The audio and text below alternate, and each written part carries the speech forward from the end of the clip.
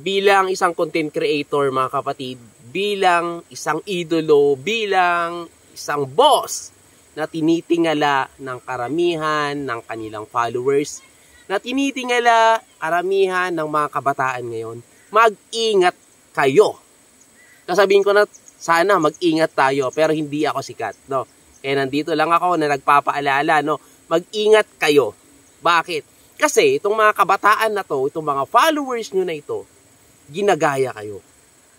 Kung ano man mga kapatid ang ginagawa nyo sa inyong content, no? Top speed content, kalokohan content, waswasan content, kalaswaan content, prank content, murahan content.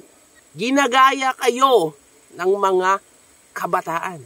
Okay lang sa inyo yon? Turuan nyo ng kalaswaan, ng kalokohan, ng waswasan content, ng top speed content na nalalagay sa balag ng alanganin yung kanilang kinabukasan, yung kanilang kalusugan, yung kanilang katawan. Dahil wala eh, sikat kayo eh, 'di ba? Tinitingala kayo, iniidolo kayo. So yun lang naman no, mag-ingat tayo.